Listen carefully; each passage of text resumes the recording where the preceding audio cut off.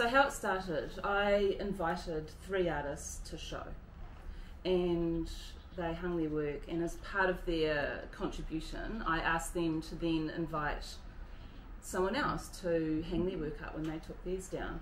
And at the beginning, I was I was very interested in, you know, because it was new and I was caring about it, you know, intensely because I didn't know quite what the shape of it was. Mm-hmm. I was really worried about this idea of I'm not curating, but it's a concept, and so I meddled a little bit, and I was sort of like, well, there's an artist, maybe we'll park them, or you know, so I was sort of thinking about it in in a like, like a tapestry, and there was a few dropped stitches, and the concentric rings were a little bit, you know, waffly at the edges. But I quickly realised that the less I did, after about two or three iterations in, as soon as I had complete hands off, it just got so much more interesting.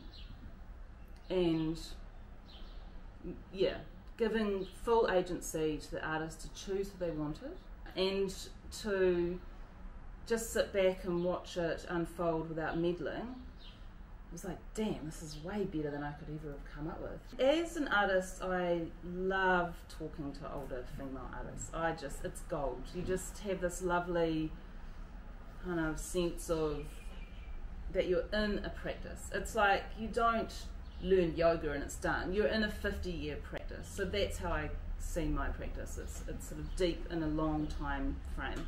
But the generational aspect is really about creating space. So you don't have to be a mother to be uh, in this project because inherently what you're doing is you're showing work and then you're creating space for the next artist coming in. That's that's a new generation. That's so we're up to nine now. So um, in that respect, there's so much happens. By the time an artist gets invited in, and we meet them and they start thinking about what work they're going to show. They can do anything they like. There's no, there's no brief, and then they show their work and then they start thinking about who they want to invite in. That's just a beautiful arc of of consideration for mm. for the project.